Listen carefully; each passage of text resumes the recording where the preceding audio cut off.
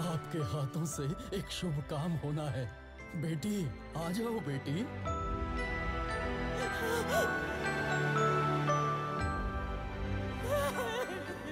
यहाँ पैदा होकर ज़िंदा बचने वाली पहली लड़की है। इसका नाम आप ही रखो भैया।